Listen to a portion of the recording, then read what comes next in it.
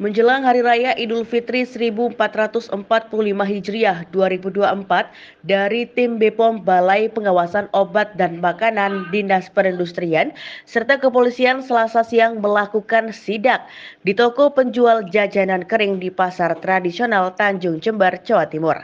Hal ini bertujuan guna memastikan bahwa makanan dan minuman yang dijual masih layak konsumsi. Dari hasil sidak pengawas makanan dan minuman menemukan makanan yang sudah expired atau kadaluarsa dan banyak ditemukan makanan yang tidak berlabel, tidak mencantumkan nama produsennya serta terdapat makanan yang telah rusak. Kushar Yudarto selaku Sekretaris Kesehatan Jember menyampaikan saat melakukan pemeriksaan tim menemukan beberapa makanan yang tidak berlabel dan disarankan untuk pemilik toko agar lebih berhati-hati dalam menerima jenis makanan.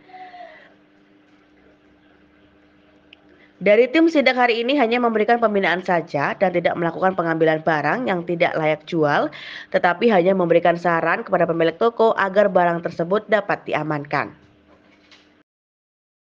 Yusuf Effendi, Barometer Post, mengabarkan. Pemeriksaan kita di sini ada ditemukan makanan yang ada yang tidak berlabel.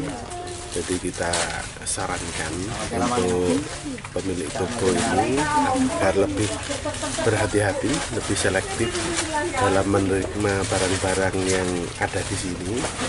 Yaitu apa? Terutama dilihat labelnya, tanggal kadaluarsa, berat bersih, produsennya dari mana, dan juga kemasannya baik apa enggak sehingga jangan sampai makanan-makanan yang ada di sini ini eh, makanan yang tidak diketahui sumbernya dari mana.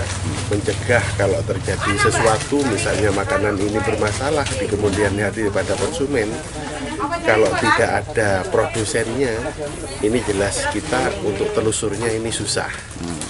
Nah, maka dari itu saran kita setelah kita melakukan uh, pemeriksaan di sini yaitu pertama kita mendapatkan ada barang-barang yang expired.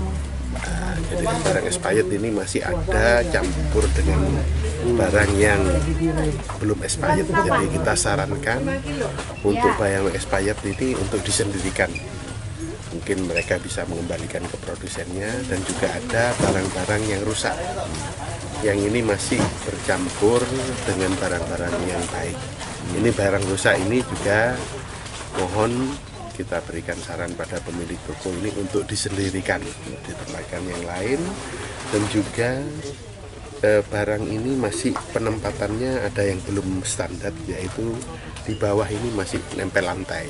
Oh, gitu. Yang baik yang sebelah kiri ini ada paletnya, yang ini tengah ini nggak ada paletnya sehingga lembab dalam penyimpanan yang waktu lama ini tentu akan mempengaruhi terhadap kualitas dari bahan makanan.